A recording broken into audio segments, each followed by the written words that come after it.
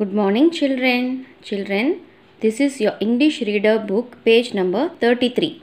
Topic is What are those? Children, read the subheading. Look at the picture and answer the following. Children, all of you look at here. This girl is standing here, isn't it? And to her, there are many things far away. See, children, what are very far away from that girl? Erasers, cars, bells, grapes, books, isn't it? See, this girl, this girl is showing her hand like this. Those pictures are far away from her. So, you have to write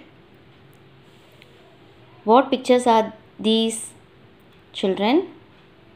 These are erasers. For her, it is far away. So, she should say, Those are erasers and keep the full stop.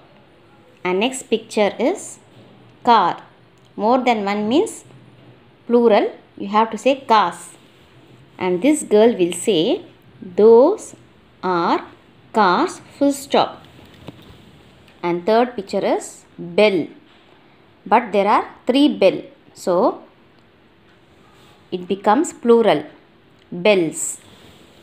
This girl is showing there and telling those are bells. Keep full stop. And what are these children? Grapes. You have to write those are grapes. Full stop.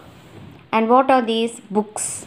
You have to say those are books. Keep full stop.